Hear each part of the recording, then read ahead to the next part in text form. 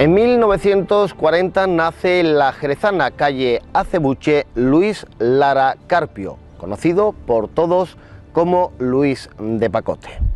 Alma del bar Volapié, gran aficionado al flamenco y con el permiso de todos ustedes y por supuesto de él, gran artista. Gran artista aunque nunca quisiera reconocerlo ni dedicarse plenamente a los escenarios. En Jerezanos de Leyenda realizamos un recorrido por la vida de un jerezano ilustre, un jerezano tan flamenco y gitano como Luis de Pacote.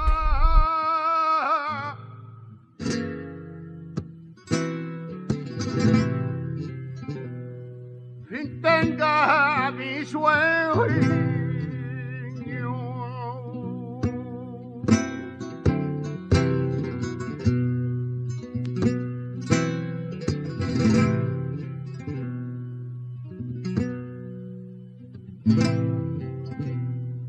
Pues mi hermano tuvo una infancia muy, muy buena porque, suerte por desgracia, no hemos pasado hambre ninguna, porque mi padre estaba en el matadero, ¿entiendes? Pues no, lo vamos criado bien, gracias a Dios, a mi padre.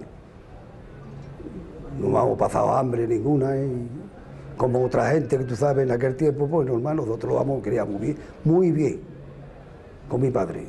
Dice que fue muy bonita y tuvo en su colegio este del Mundo Nuevo y se crió bien, vamos, jugaba su pelota Vamos, él no se crió malamente por esto. Pero está, que yo sepa, no, no lo ha pasado mal. Muy bonita, muy bonita, preciosa y aparte muy bueno. Muy bueno, muy buen hermano. Porque en mi casa yo era la más chica. Entonces yo daba poco porque yo era muy dejanaita. Me traía mi madre algo de la plaza, me hacía el burrito, se lo zampaba esto y llegaba mi madre y me decía, ¿te ha comido lo que te ha traído de la plaza? Digo, no, dice, ya se la comió el cochino. Pues le decían el cochino a mi hermano porque tragaba mucho. Y ya está, como experiencia, ¿qué te voy a decir? Mi hermano es lo mejor del mundo, de humano, de bueno, de todo. Lo que más recuerdo de él fue cuando él trabajaba de, de una carbonería que se colocó y a él, dentro de la familia, los que más le han gustado el fútbol ha sido a él y a mí, ¿no? Y entonces, como yo era más pequeño, y no, me dijo, la primera vez que coja propina, cogiendo, repartiendo el carbón, porque él lo llevaba a, caza a caza, ¿no? Y la primera vez que coja propina y tengo un poquito de dinero, te llevo al fútbol. Y me acuerdo yo que me llevó al fútbol, pues un, de, estos de esta semana que salió un poquito bien, me llevó al fútbol y aquel día se formó una desgorda porque el partido fue, fue, hubo un problema ahí con los árbitros, no sé cuánto, y entró la Guardia Civil y todo, no sé cuánto, y eso yo tengo grabado de la primera vez que me llevó al fútbol a mí, ¿eh? y lo tengo grabado yo eso precisamente porque fue el primero, la primera vez que yo fui a ver fútbol dentro del campo, ¿no? Fue una aficionada con él y a él le gustaba mucho el fútbol y la primera vez que coja dinero te llevo al fútbol. Pues entonces en aquel tiempo era una casa como de vecinos y todos teníamos una casa como un accesorio, vamos a hablar así, ¿no? Y allí nacimos nosotros todos en, la casa. Dormíamos en los corsones de paz en aquel tiempo, todo, con dos, y tú, sabes. Yo no sé cómo hacer mi, padre con mi madre el amor, porque éramos todos, tú sabes cómo éramos. Allí la calle Cibuche. La calle Cibuche era donde vivíamos nosotros, siempre había cante y baile.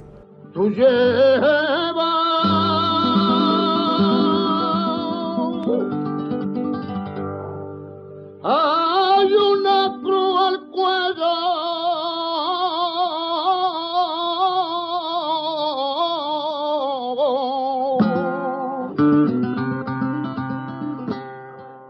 Nuestro protagonista fue hijo de Manuela y de un matarife del antiguo matadero de Jerez, al que todos conocían por Pacote.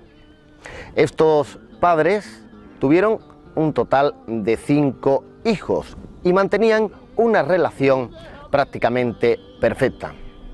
Pero entre Pacote y Luis había algo especial. Encajaban a la perfección en unos moldes muy gitanos y con una personalidad tremenda.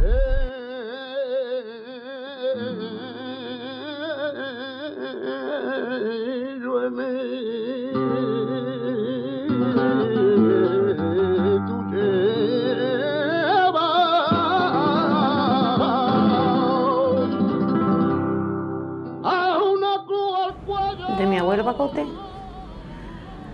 el genio, la manera de ser, lo que le gustaba al cante, a ver si tú me entiendes, que lo sentían, que no era solamente que, que lo sentían, que ellos lo sentían. Y en eso se parecía a su padre, era igual que su padre, hasta en el genio. Por eso yo tenía dos abuelos, ¿no? Pero mi abuelo Pacote es que se parecía mucho a mi padre, ¿sabes lo que te quiero decir? Entonces tenía como quien dice dos padres, mi abuelo Pacote y mi padre, porque eran los dos iguales. De maravilla, como se llevaba con su padre, a todos lados los quería llevar, a todos lados. El Paula toreaba en Madrid, y a su padre se lo llevaba a Madrid. El más bueno del mundo, el más bueno del mundo para su padre y para su madre. Eso era jamón de pata negra, como yo decía. Nosotros queríamos toda mi madre, mi madre, desde luego, donde llegaba su hijo Luis, no llegábamos nosotros. Ella decía que no, que eran todos igual, pero se le notaba que su hijo Luis era, porque desde luego su hijo Luis era quitaba el sentido para su padre y para su madre. Quitaba el sentido. La verdad que sí, todos los caprichos que podía se los daba a los dos. Mi padre Luis era una persona que, que hacía muy cariñosa con, con, con todos sus hijos. Ahí no había ni uno, ni uno más ni uno menos, sino todo por igual. Nos quería mucho. Yo recuerdo que cuando íbamos o nos llevaba a cualquier lado, pues eso era una fiesta para él. Llevarnos a cualquier sitio era disfrutar de, su familia, sus hijos. Muy buena persona. Tu padre era la persona mejor que había para él. No había otro más. De todo. Bueno, de todo. Para su padre. Y, y su padre para él, vamos. Estaban los dos bien compa- compaginados. Ahora él para su padre era la gloria bendita. Como decía él. Ay, hacen que estuvieron mucho tiempo juntitos. Mi padre era. eh, mi padre era el preferido. El preferido porque era, él era el bastión de nosotros, ¿entiendes? Él era el que en un momento determinado, si había que organizar algo, nosotros hemos perdido mucho con él, ¿no? Eh, La muerte de él ha sido mucho para nosotros, porque el 90% de nosotros, de, la- de las reuniones de nosotros, y todo, eso lo llevaba él, ¿no? Había cualquier cosa, decía, pues vamos a ir a tal sitio, tú vas a poner esto, tú pones... O sea, que, organizaba todo el rollo, decir, inclu- antes que mi padre, eh, él era el bastión de, de- de nosotros, y para mi padre era el número uno. Para mi padre mi hermano era el número uno. Y nosotros no hacíamos nada sin él porque pre- precisamente por eso, porque él era el que organizaba todas las cosas. O había cualquier cosa de nosotros y tenemos que reunirnos en tal sitio, plan. O los invitaban a cualquier sitio y decían, yo puedo llevar a mis hermanos porque tenían que matar un cocino, una matanza, cualquier cosa. A, todos nosotros, de momento nos llevaba a todos nosotros. Él, siempre nos llevaba a nosotros, a todo el mundo por delante. Eso no se podía aguantar la gente que tenía su padre. No se podía aguantar cantándose y bailándose al mismo tiempo. Eso era descompensado. Pero claro, todos tenemos la cosita de mi padre. Porque mi madre era gitana, pero no sabría. No sabía tocar las palmas. Pero mi padre, mi padre nos cogía chicos en la mesa hacer son. ¿Cómo se tiene que hacer son? Vamos, cuando te equivocabas te decía, ¡eh! Quieto, te has equivocado, tienes que empezar de nuevo. Y mi madre era gitana por otros cuatro costados y no sabía tocar las palmas. Se ponía a bailar y le decía a mi padre, no bailes más, Manuela, que eres un molinillo, porque la más que movía un brazo. Porque mi padre era una persona que, que le gustaba mucho el cante y el baile, y se bebía dos copas y venía del matadero y venía cantando y bailando, y allí todo el mundo salía bailando y cantando. Porque mi padre era así, de esa manera. Mi padre ha sido un padre de los pocos que tú me entiendes. Uh, la figura de mi, de, de mi padre Pacote era topa, ¿eh? Era su padre, su amigo, era su Dios. Era un Dios para él. Porque él moría con su padre Pacote. Con su padre y con todos nosotros. porque era el patriarca. No nos movíamos cine, no hacíamos nada. Lo que hacía es, mandaba y hacíamos todo. Todos lo respetábamos como, como un patriarca, vamos, para todos nosotros. Para saber exactamente lo que decía Luis de su padre, solamente creo que habría que excusar a sus hijos, ¿no? Porque es un fiel reflejo. Ha sabido dejar una cuestión congénita en sus hijos para que sepan el respeto, el afecto y el cariño que se le podía tener a un padre. Yo creo que Luis, una de las personas que más ha marcado su vida y su forma de ser, ha sido precisamente su padre.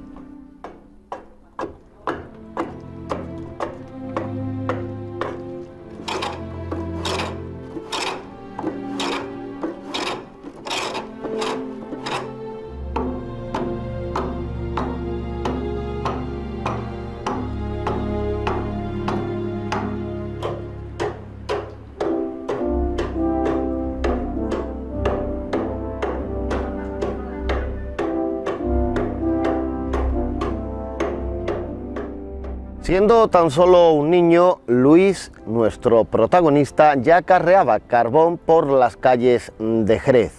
Más tarde se adentraría en el mundo de las bodegas, aprendiendo un oficio muy jerezano, el de tonelero.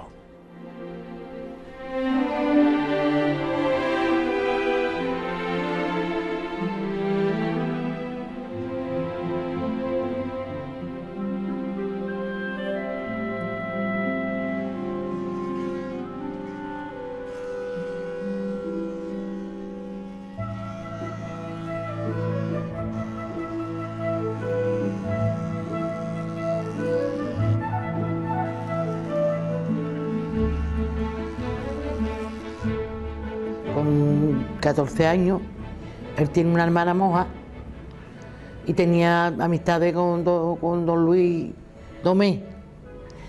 Y esa fue que de tanto pedirle, coloca mi mano, hija, coloca mi mano. Y lo colocaron en Don Sacón. Y ya se quedó ahí fijo, hasta que pidió la excedencia para el bar. Ya cuando se vino al bar, pues dejó el taller. Toda su vida era el. Don Jaime los quería mucho, que era muy buena persona. Y con Miguel Pastrana, que, que era su, su capataz. Y estaban bien siempre con los dos. Venía a buscarlo y, los quería, lo querían. Y ahí estuvo muy bien en su taller. De carbonero lo dejó corriendo porque mi madre no tenía dinero para tanto jabón. Y luego, como lo llevaba con las puertas en la cabeza para todos lados, para los señores llevarle el carbón, total, que no, mi madre dijo que no. Y luego le salió este trabajo de tolenero, que estuvo ahí unos pocos de años trabajando. Y ya de ahí, ya con sus hijos criados y todo más o menos, pues le salió el volapié. Hacía un buen tolenero. Y ha trabajado mucho porque tenía las manos, había que verle las manos, ¿eh? Las manos era. Las manos te tocaban la cara y te arañaba. Las manos de era de trabajador puro y nato. Eh, no- no- no- nosotros no, porque nosotros hemos sido todos una familia de trabajadores, de, pequeños trabajadores. Y a nosotros nos molesta mucho cuando hablan de los gitanos, ¿no? por ejemplo, por decirte, decir, "Oh, los gitanos, pues", y nosotros decimos, pues eso no va con nosotros. Nosotros todos hemos trabajado desde, desde que teníamos nueve o diez años trabajado. Y él cogió, lo metió en un trabajo muy, lo que había en entonces, y las mojitas, mi hermana, fueron las que lo, lo introducieron en Novi Chacón. Y estaba en el batiero, batiendo, poniendo los aros de la. Y, tenía un mazo toda, toda la mañana, un mazo, dale que te pego, ¿no? Y verle las manos era. eh, era impresionaba, ¿no? Verle las manos.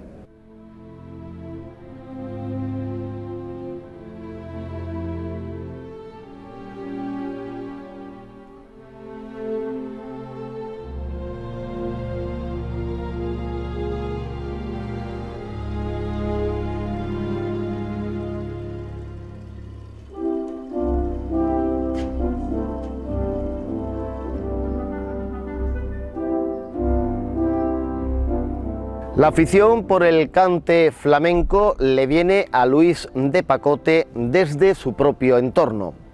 Nunca quiso ser artista y sin embargo dominaba a la perfección palos como la soleá, seguirillas o malagueñas e incluso obtuvo a lo largo de su vida importantes e interesantes premios. Y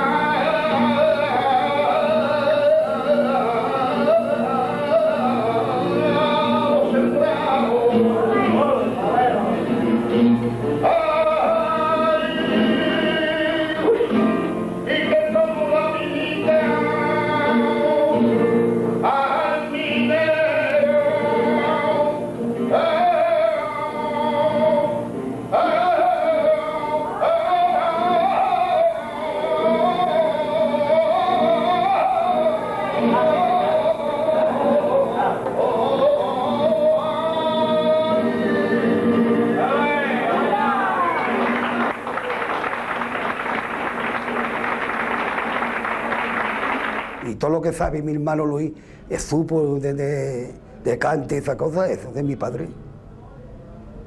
Mano Luis, Mano Luis ha sido un aficionado, que te voy a decir yo? Uno de los mejores de Jerez, por no decirte, ¿tú me entiendes? Uno de los mejores. Él no quería comer de artisteo. Podía comer, pero no. Ahora era un aficionado que quitaba como sentido, porque tenía todos los palos. No estas huerguecitas pequeñas, estos cantes gitanitos buenos, rancios, lo tenía él. Y, pero de, eso no comía él.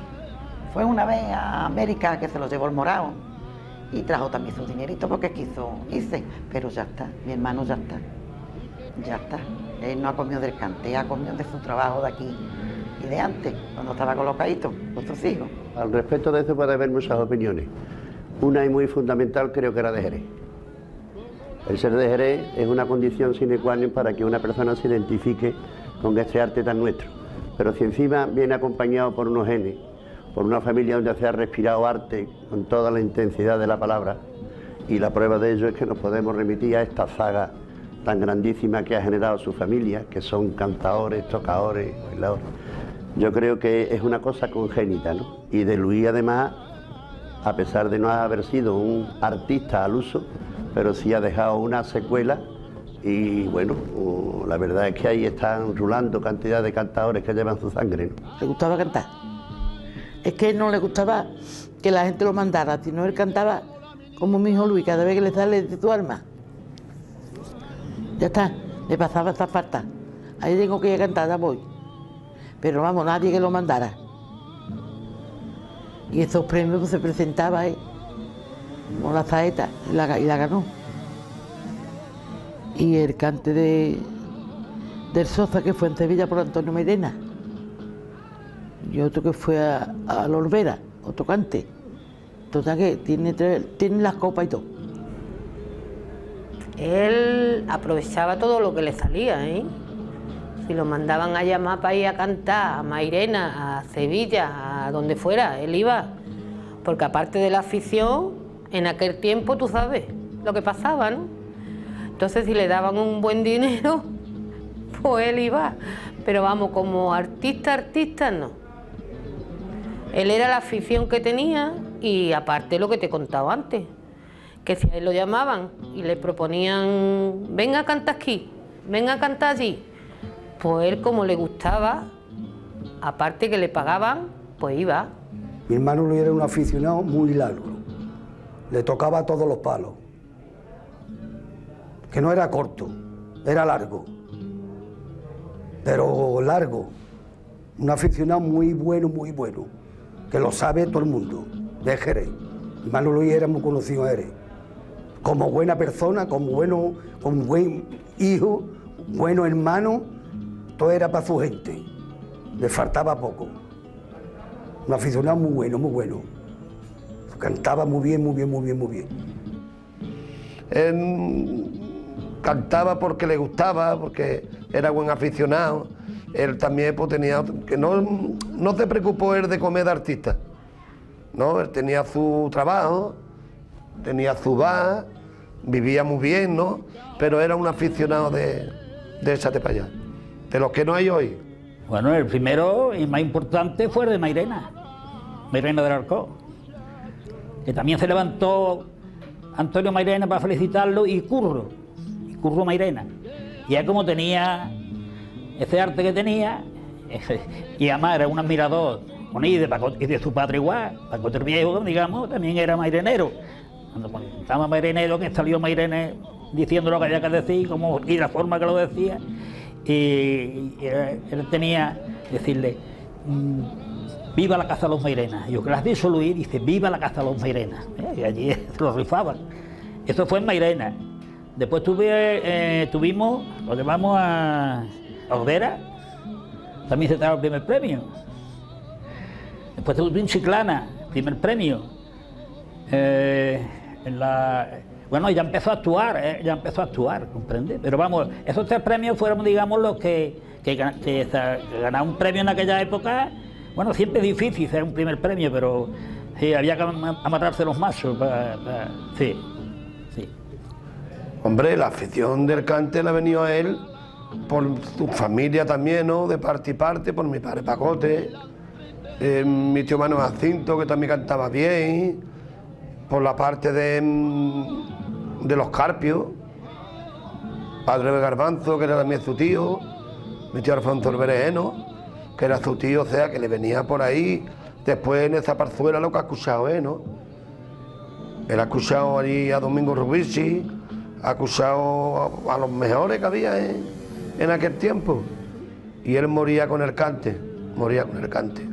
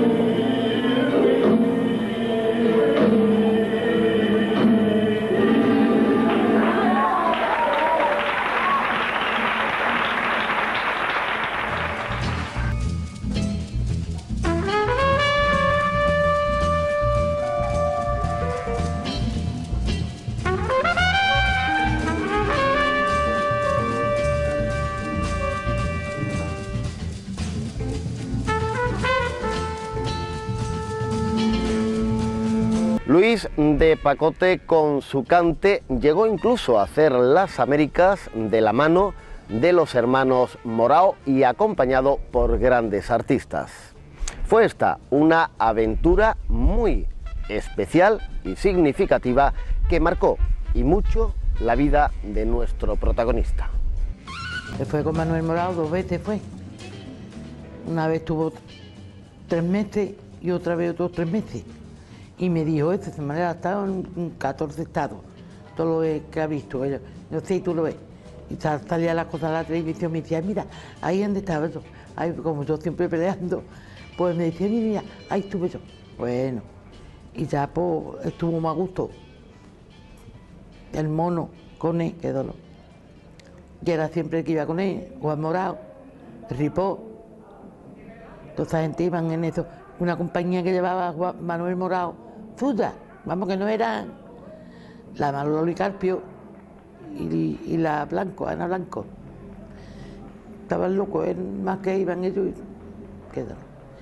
Y lo pasó muy bien, muy bien, muy bien, muy bien. Estaba loco. Luego que se lo llevó de segunda y se fue. Con nosotros cuántas, otros cuantos estados. A nosotros nos, nos- impresionó mucho, hombre, nos impresionó mucho porque él no era tampoco, nosotros de, por sí somos un poco tímidos para, para- para cantar así en un sitio, y a nosotros nos extrañó mucho, pero claro, él tenía unos cuantos niños que había que llevar para adelante y, y- y se llevó adelante, porque luego si él hubiese querido, hubiese, hubiese comido del cante. Lo que pasa que no, no, no, no, y ya una vez que cogió esto, que se estabilizó un poquito y estuvo bien, ya se veía un poquito bien, pues no, es cuando se explayaba cantando y cuando estaba, era cuando estaba con sus amigos eh, en reunión, es cuando había que escucharlo, ¿no? Pero claro que él si hubiese querido, hubi- hubiese sido, hubiese comido de- del cante, porque él le tocaba casi todos los palos, ¿no? Porque se fue con Juan el Morao. Bueno, Juan el Morao no fue el Morao grande, Manuel. Pues hizo una excursión, querían unos artistas y se los llevó a él, con Manuela Carpio, David Laura. Y se fue mi hermano, no recuerdo el tiempo que fue, pero fue no menos un poco de tiempo fue, no me acuerdo el tiempo, pero tuvo bastante tiempo. Y él lo primero que hizo es, vamos, de, de artisteo, porque lo metió Manuel Morao y, y se fue. Pero ya está, ya él no ha hecho más gala de por ahí ni nada, sino por aquí. Luego nos enteramos que había estado muy bien y que lo llevó Manuel Morado. Y entonces mm, la gente que había, eran, digamos que eran una familia, los que salieron de aquí de América eran una familia, ¿no? Entonces nos contaron aquí muchas anécdotas de cómo se guisaban, cómo, cómo comían allí, dónde estaban los hoteles, el frío que hacía, ¿no? Y, cómo echaban el café en esta jarra que tenían los americanos, de, ¿no? Y nos contaba él muchas cosas de esas. Pero vamos, que él dice que lo pasó bien porque pasó una experiencia muy, muy bonita, ¿no? Eh, tuvo una experiencia muy bonita en ese aspecto, haber ido a América. Fue con el Report, es del Funto los Monos, la Loli Carpio. Yo no me acuerdo más, había unos pocos más, yo no sé, pero vamos, de esa gente de los tres me acuerdo yo. Se lo llevó el morado a mi hermano Luis. Fue uno de el primero me para mí que fue en América en aquel tiempo. Tuvo dos meses por ahí. Un, un aficionado muy bueno, muy bueno. Y el morado se lo llevaba muchas veces, cuando estaba de, tolenero. Entonces hacía una fiesta en el- esa fiesta que daba en la bodega. Y el primero que llamaba era mi hermano, el morado. El primero que llamaba era el morado.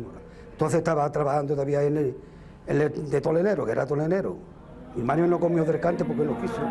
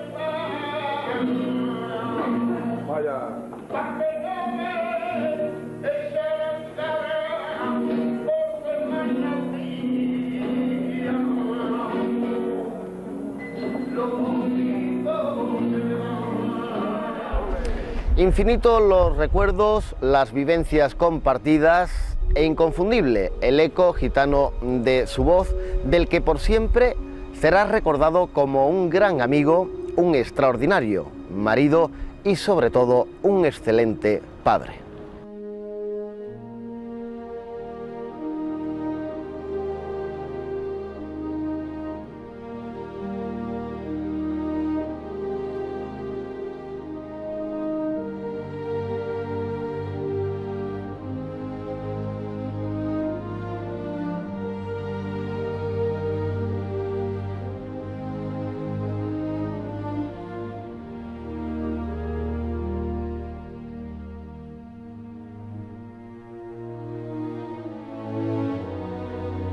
Eso era más bueno que el pan y muy buen pare.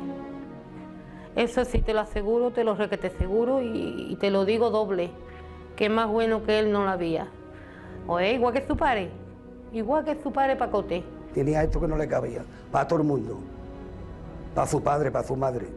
Él no se cometía, llegaba la Nochebuena y, y decía, yo me voy a comer un langostino sin saber mis hermanos si lo va a comer o no lo va a comer. No podía. Nos faltaba tres días, ya llegaba a la calle Cebuche allí, donde vivíamos nosotros. La primera iba a visitar a mi hermana, la mayor, a la madre de, mi, Moneo, a la, mi hermana Mena. Su dinero, a mí a su dinero, al otro su dinero, al otro su dinero. Y entonces se quedaba ahí tranquilo, mientras no se quedaba tranquilo. Muy bueno. Muy bueno, muy bueno. Él no, no se metía. Él lo pasa que le gustaba mucho la calle. Y cuando él venía, pues siempre era todo la que enfadaba. Pero vamos, que él era bueno. A mí nunca me, me tocó. Más que nada, él era bueno, bueno. Yo tenía 12 años cuando se fue. Entonces, imagínate lo- el poco trato que pude tener yo con él. Algo que, que de toda la vida me ha dado mucho coraje, mucho, mucho coraje. Es una de las razones por las que la vida me ha parecido menos bonita siempre. Pero por lo demás, me imagino que tenía que ser un crack. Lo poquito que traté con él de pequeñito, las pequeñas vivencias que tuve, pues superior. un- eh, es que me quedo sin palabras porque ya te digo, no la, no la encuentro porque no, no pude yo mm, vivirlo, sentirlo como me hubiera gustado. Y lo único que te puedo decir es eso, que estoy peleado con el mundo por, por detalles como ese, un detalle tan feo que ha tenido conmigo la vida, pero por lo demás yo creo que es un crack. Y él, siempre está conmigo, eso es una cosa que sí quiero dejar clara, que lo noto. Puede parecer esto un, una frase que, que dice, venga, de cara a la galería, pero que va, que va. Yo lo estoy diciendo porque lo siento que está conmigo. Todo el mundo tiene un ángel de la guarda y yo sé quién es el mío. Y lo tengo muy claro, mi padre. Que tuviéramos, que trayéramos buenas notas del cole y le enseñábamos las notas, mira pa, se volvía loco, él no nos había reñido nunca por tener malas notas, sino venga, esto lo tenéis que, esto lo tenéis que llevar más mejor, esto tenéis que, pero mi padre la mano encima, hacen que lo recordamos de tal manera que, bueno, todavía lloramos por él, fíjate lo que te estoy contando. Y va a hacer ya los años que va a hacer, pero él no. Mi madre sí, mi madre era la que se encargaba, pero mi padre, más buen padre que él, no la vio. Era un tío extraordinario, un gran amigo, tío macho.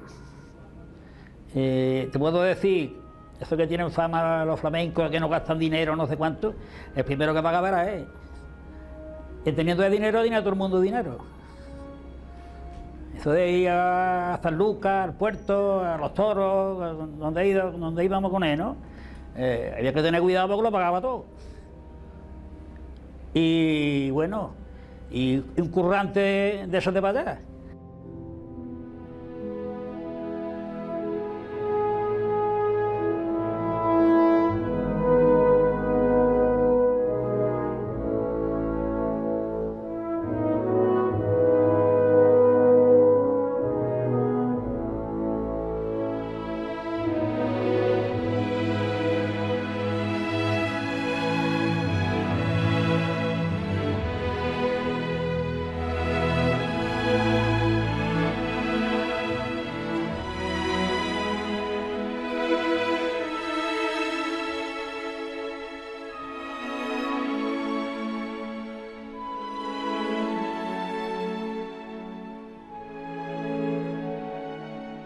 Bar Volapié, situado en la barriada de la Asunción, perteneció al que fuera durante muchos años director del matadero antiguo, matadero de Jerez, don Antonio Roldán.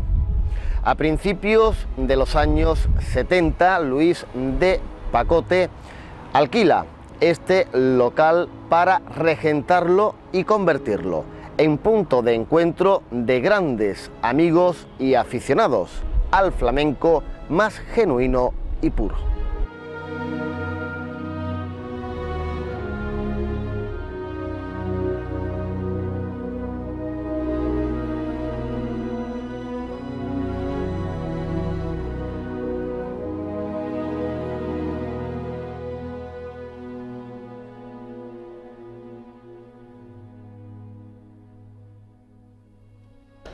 Bueno, el balapié es- es- es- se encuentra, yo creo que está exactamente igual que como lo de hoy. Está igual, hemos querido seguir con su, con su mismo sistema de trabajo y, y tratar a los clientes como él ha tratado, con mucho cariño. Ha tenido muchas amistades y, y bien, hemos conseguido que se mantenga como él ha querido siempre. Un bar muy familiar para todos sus amigos. Lo único que te puedo decir que es un negocio familiar, que lo llevamos la familia, que por esto estamos todos juntitos, porque tú sabes que la familia, uno se coloca allí, el otro se coloca allí, y están menos, pero nosotros lo bueno que tenemos con el volapié es que estamos todos juntitos y para gente muy buena. Los clientes que tenemos son geniales, nos conocemos ya de muchos años y, y la verdad que se está bien aquí. Mi hermano Luis, cuando cogió el volapié, pidió cedencia en su trabajo y se la dieron. Y lo iba a coger con un Juanito el Morado, el volapié. Entonces no sé lo que pasó, que Juan no quiso cogerlo y lo cogió él. Entonces yo tenía un tabanco en la parzuela, yo tenía un tabanco en la parzuela. Y me llamó, a- a- me mandó a llamar mi hermano para pedirme una opinión. Y me dice, hermano, mira que yo voy a coger por la pie, pero no quiero cogerlo porque me da miedo, porque solo tú sabes que yo no sé qué. Entonces yo le dije, cógelo que yo te voy a hacer una mano. Teniendo yo el tabanco, que no era mío, estaba yo trabajando de a mitad de actualidad. Mitad de actualidad. Digo, pero vamos, tú no te preocupes que yo los viernes los sábados y los domingos voy a hacerte una mano. Si hermano, digo, tú cuenta conmigo. Entonces lo cojo. ¿Me entiendes? Y me fui para arriba, para arriba, para arriba, para arriba, para arriba, para arriba, montadísimo. Igual, igual. Aquí a lo mejor se ha podido tocar un poquito algún cuadro que otro para a la hora de limpiar o algo, pero por lo demás que se haya cambiado los paños porque el paño ya se quedó obsoleto y se han puesto otro, pero el volapié igual, igual, igual.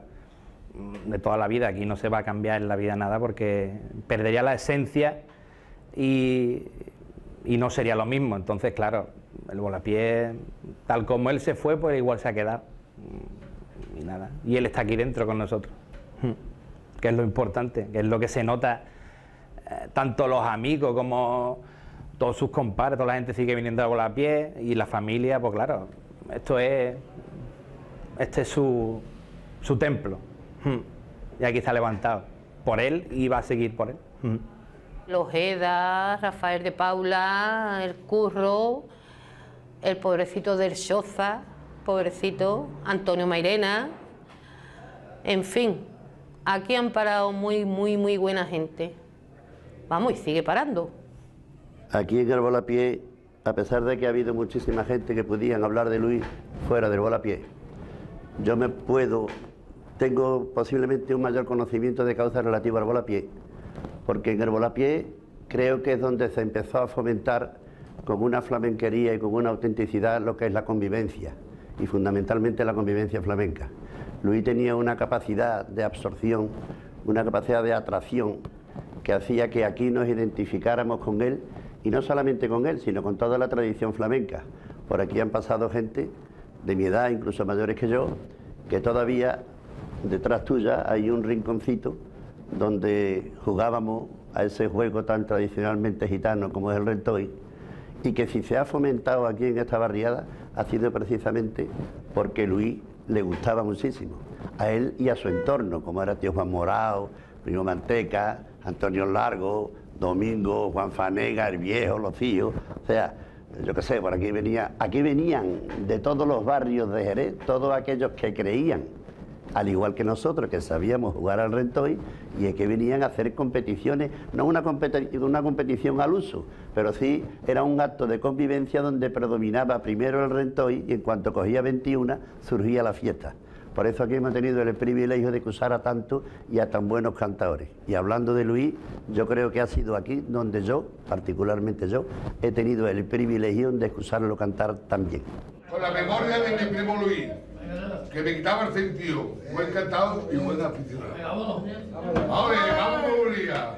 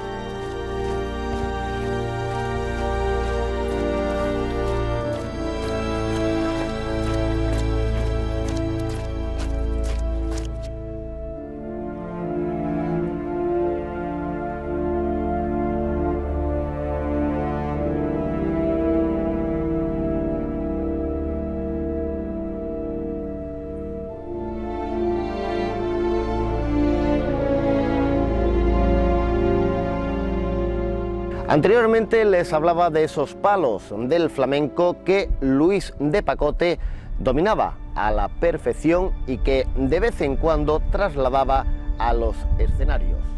Sin embargo, su mejor escenario, sus mejores tablas estaban en las calles de Jerez, en esa noche mágica de Jesús, de su Jesús Nazareno.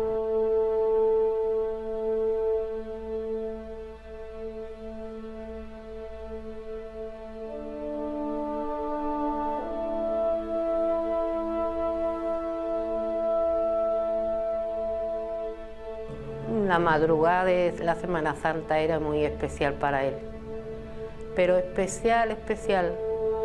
Él se ponía lo que es en el Bala Venecia, se ponía con todos sus amigos, sus compadres, su compadre Juan, y, y eso era, eso era como te voy a decir, Eh, como una obligación de todos los años, es que no sé cómo decírtelo pero él, a su nazareno,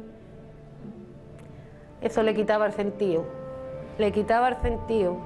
Ese hombre veía al nazareno y de momento, de momento le salía esa sajeta que cantaban, que eso era para escucharlo. Con qué sentimiento y qué letra más bonita y todo. ¿Qué te voy a contar más? Que le quitaba el sentido, su madrugada. Uh, eso para él era una cosa que la Semana Santa la vivía a tope, a tope. Él se juntaba con su compadre Juan Morao y la noche de Jesús, pues, eso era saeta sobre saeta, la saeta mujitana que cantaba mi padre. También se iba con, su sobrino Moneo, eh, con su amigo Benny, que, iba a, a todos lados con él Semana Santa eh, con, con el mono. Ahí se juntaba un grupito que eso era, eso era, la gente esperaba que, llegaran a los sitios para verlo, para escucharlo cantar.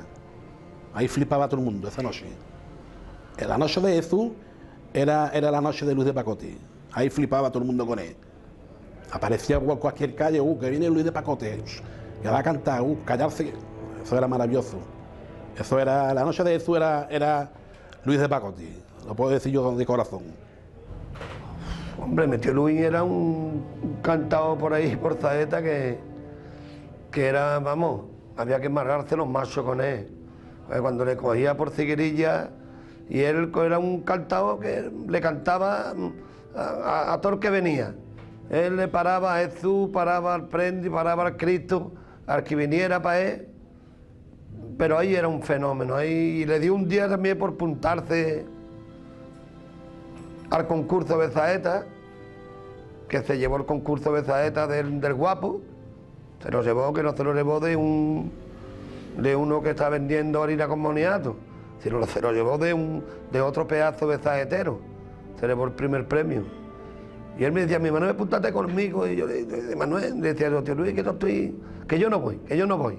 Pero era genial. Cantaba por, por la Zaeta más. La anunciaba un- un- dos meses antes, la anunciaba con Juan Morado. Te llevaban los dos y ya empezaban los dos a ensayar. Y mira esta, y, cantaban las letras. Era un, era un pedazo de aficionado, de verdad.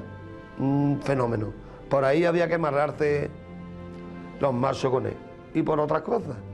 Y por otras cosas también.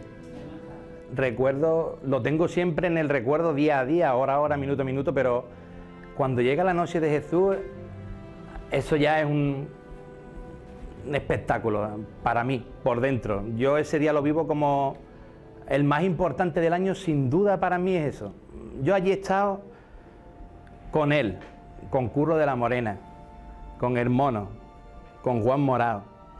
Después con, con mi, con mi primo Manuel, con Barullo. Pero eso ya después, yo, yo estoy hablando de antes. Estos cuatro ya no están. No están ninguno. Y yo en mi corazón lo tengo metido eso y lo tengo tan presente que cada año me parece que fue ayer. Cada año me parece que fue ayer. Y es increíble cuando llega Jesús, cuando pasa la buena muerte.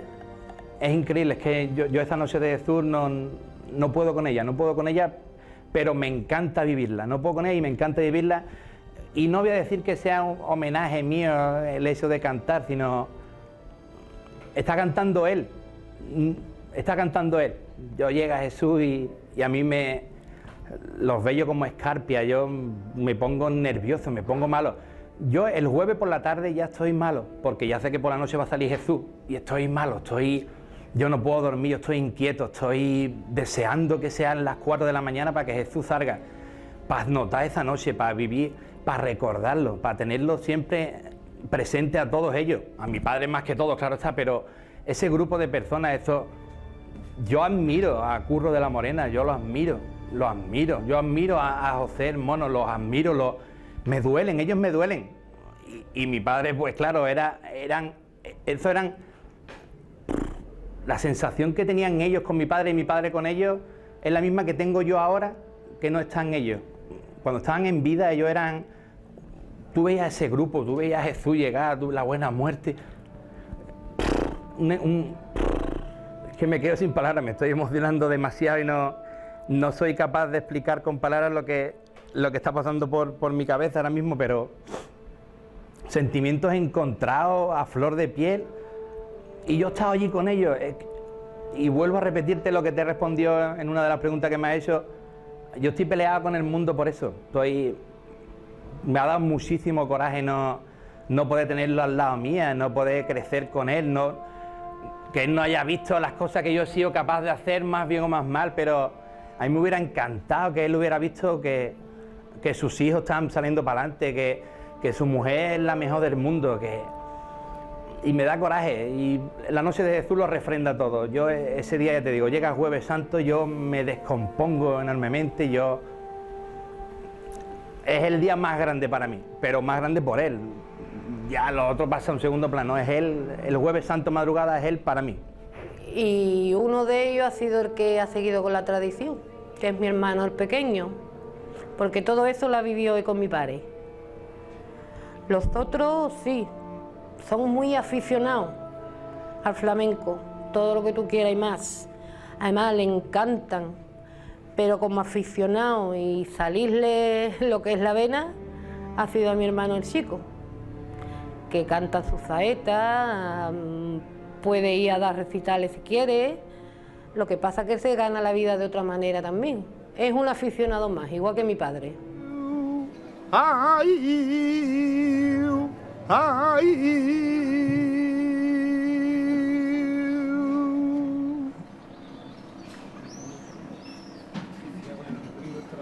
Viendo a mi pared,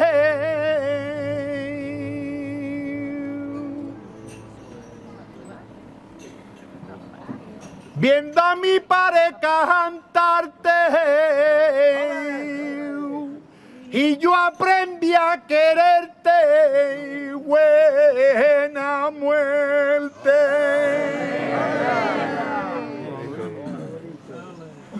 Ay, y las entrañas me se parten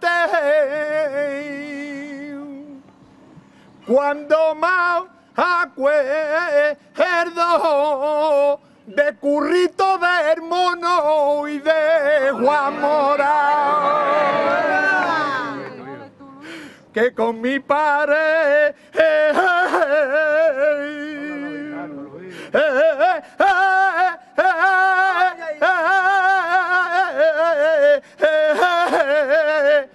me enseñaron lo grande que tú eres, buena muerte.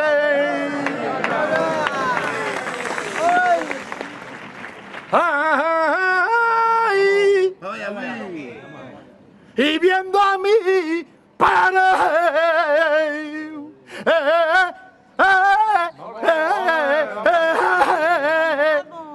cantarte y yo aprendí a quererte buena muerte.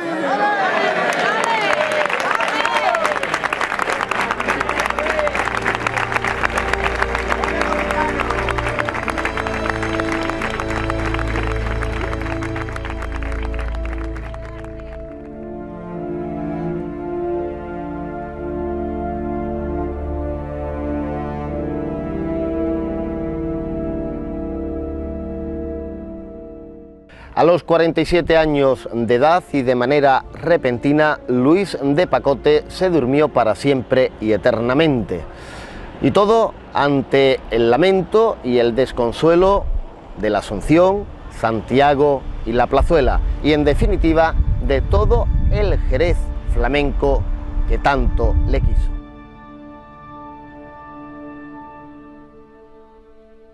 Esto era un domingo, domingo de calor, y dice, anda, vámonos a la playa. Y con mi niño sí con la más, con el Luis. Esta gente no venía ninguno. Llamó a un taxi, Pepe, porque no tenía carnet de coche. Llamó a Pepe y nos llevó Pepe. Y estaba también.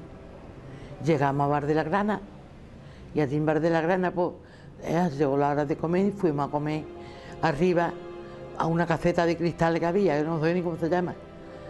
Y, y allí comimos la caseta de cristales, muy bien, los dos, mi niño.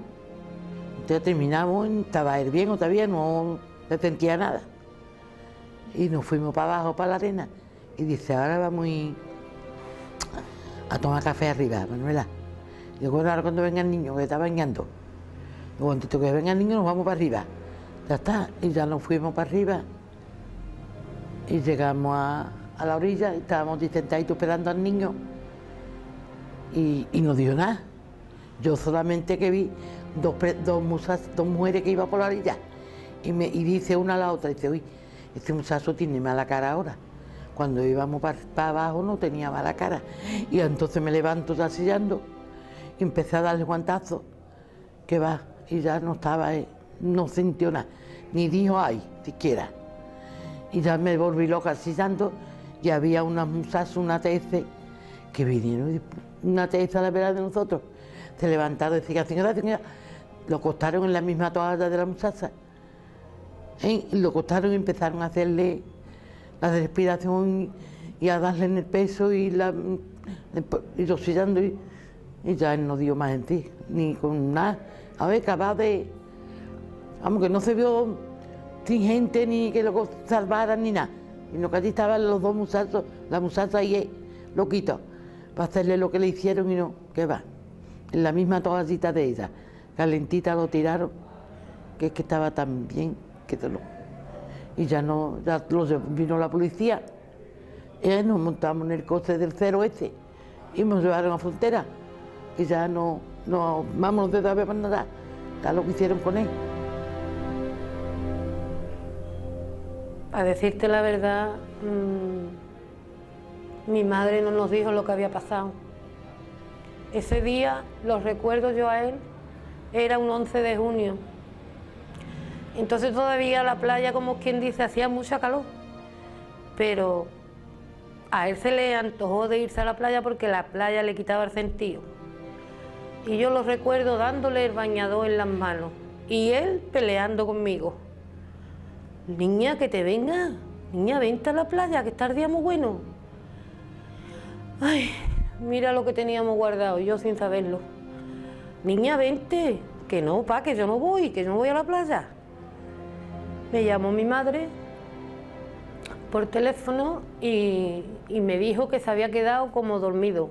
Yo vine aquí, me parece que fue un sábado por la tarde, estaba jugando al dominó.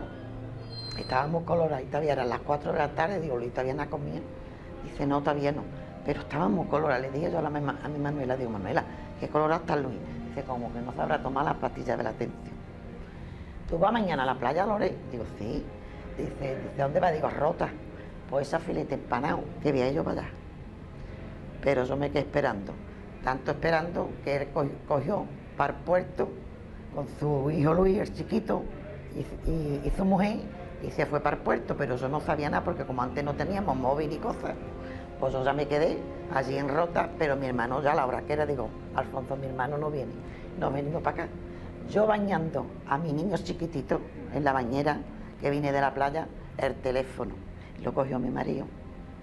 Y al ver yo la fatiga que tenía mi marido tan grande mirándome, y yo decía, ¿qué ha pasado? ¿Qué ha pasado? Y entonces le dijo que Manuel, Luis está muy grave, me dijo, en, en el puerto de Zamacola. Ya yo tiré al niño, yo no sé ni lo que hice con el niño. Entonces ya me enteré, ya me calmó mi marido un poquito, me enteré que mi hermano estaba muerto. Y entonces yo tuve que coger a mi madre, decírselo.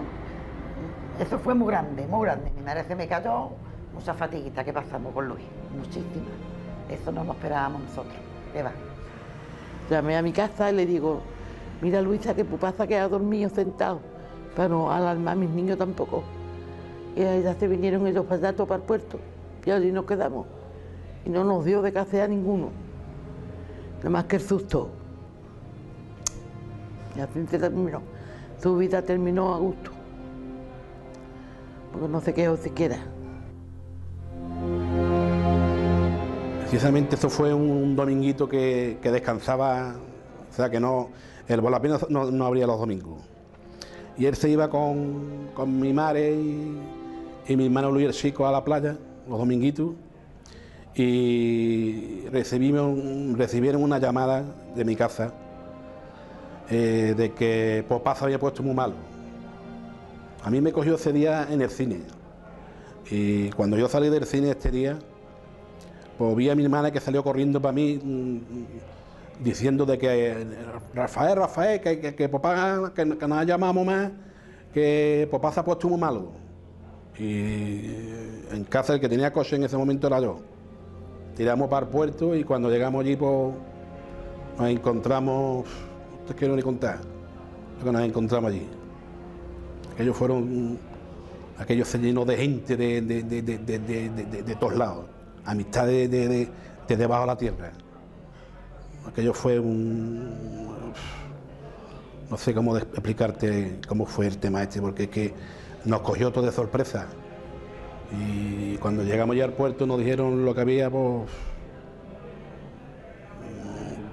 mm, Malísimo, allí estuvimos todos malísimos. Echamos dos días de luto que estuvimos allí en el puerto, lo que era el, domingo y, el mismo lunes, y eso fue una cosa que ha quedado marcado para mucha gente. Y a- y a la familia, sobre todo, nos dejó fuera de juego. De juego. Joder. Sí, este- él se me fue al lado, yo, yo lo llamé.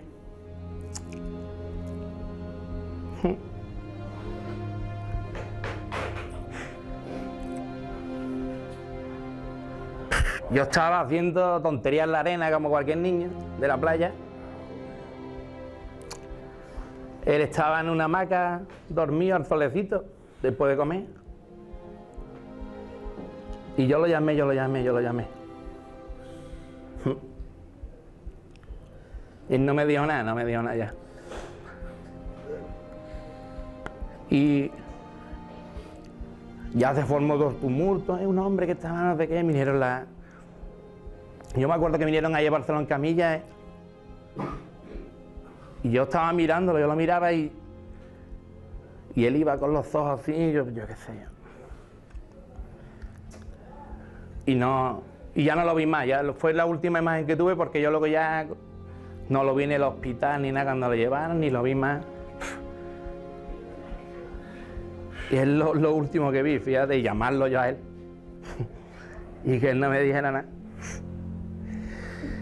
Ay Dios. Pero bueno, está conmigo, está conmigo. Yo sé que todo lo dirá todo el mundo, ¿eh? se le va a algún ser querido y dirá todo el mundo sí, pero, pero yo es que lo siento, yo es que lo noto, yo... que está, que está. Y es el que está haciendo que, que todo lo que haga, lo haga mejor lo haga peor, está detrás empujándome, está diciendo venga y venga y... Y eso lo noto, yo vuelvo a repetir que lo puede decir cualquier persona, a la que se le vaya un ser querido, en este caso su padre, puede decir, está conmigo, lo siento. Puede ser demagogia o no, pero lo mío, lo mío es, es tan puro como, como te lo estoy contando, que, que está conmigo, está conmigo y que, yo qué sé, ¿qué te iba a decir? Ay Dios.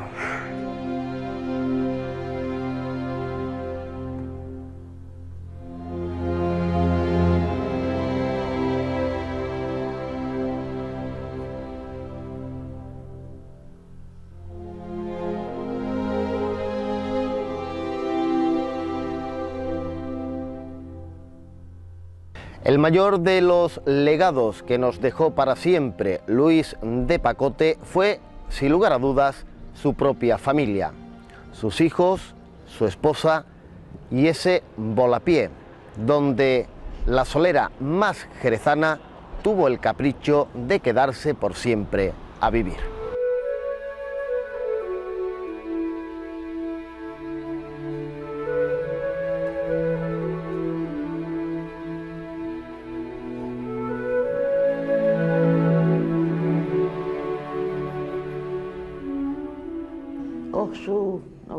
Que pasamos. Esto es mucho, esto es mucho sentir. Esta mañana está, más tarde está, y todos los días, tú sabes, tiene una que está mentándolo, porque es una persona que era muy joven. Y me los dejó todos de 14, 15 años, 16, todos con la edad de, de lo malo. Y mis niños, gracias a Dios, con el respeto de su padre, han ido para adelante. Y nos hemos comportado, se han comportado bien. Y yo con ellos, es la que le queda. Ahora que ellos se acuerdan todo, ¿eh?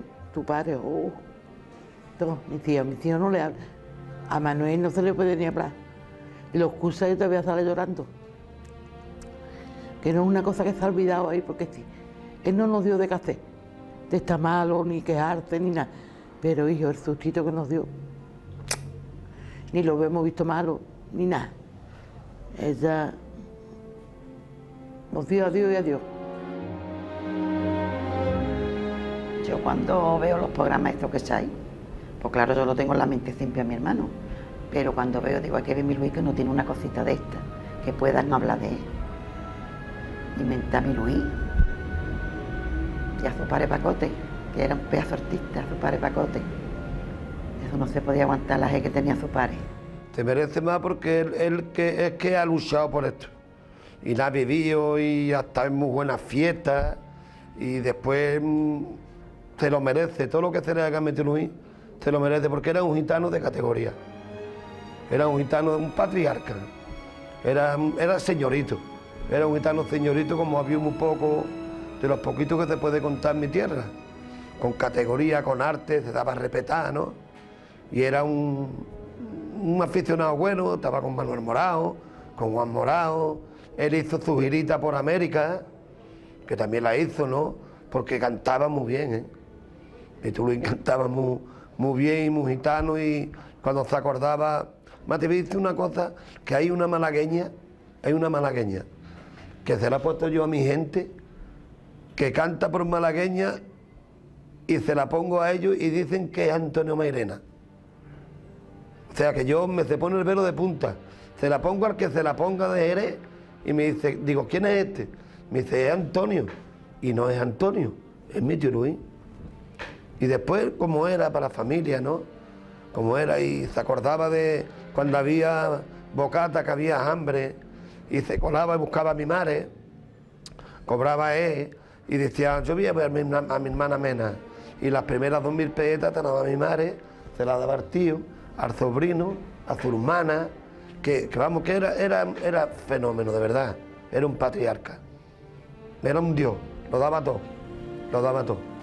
Es una persona genial y qué más te voy a contar de él. Pero vamos, que se merece. El programita este se lo merece, vamos. Eh,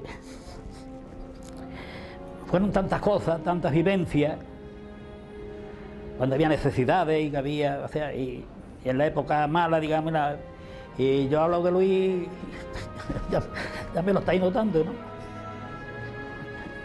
Me emociono porque un gran hombre, un pedazo cantado, sí, lo tenía todo. No había por dónde, no. Luis de Pacote tiene que ser de leyenda, no solamente como artista, y que no llegó a desarrollarlo porque siempre esta- estaba un poco, sino como persona. De leyenda con toda la extensión de la palabra. Luis de Pacote, si hubiera algún calificativo para definirlo sin menospreciar otros calificativos que lo engrandecerían, yo le daría el que tenía una exquisita personalidad. Era un hombre que a cualquier lugar que llegara, sea de frecuentado por los gitanos por los flamencos o por los aficionados al cante en general, Luis de Pacote era un hombre con una personalidad exquisita, era un hombre respetadísimo cuando él abría la boca, y no me refiero cantando, sino hablando, dando una opinión respecto del cante. Era un hombre muy, muy respetado. He oído antes la, la opinión de su sobrino Manuel Moneo, y efectivamente yo creo que Luis era de esos individuos que ya nacen con el sello, con el mársamo del patriarcado. ¿eh? Ya desde muy joven tenía esas connotaciones y cuando llegó a una edad no muy mayor, porque por desgracia nos dejó siendo todavía un hombre joven, pudimos comprobar la gente que tuvimos la posibilidad de conocerlo, de que Luis tenía madera de patriarca, fue patriarca, insisto, en, con una personalidad exquisita. Iba a la plazuela y era un hombre respetabilísimo. Iba a Santiago igual. Y como ha dicho mi tío Antonio Benítez, cuando iba al puerto, iba a Ciclana, iba a Mairena, iba a Sevilla, a los toros, aquí, a cualquier sitio, con artistas, con toreros de prestigio, Luis de Pacote era toda una institución. Un jerezano de leyenda con toda la extensión de la palabra.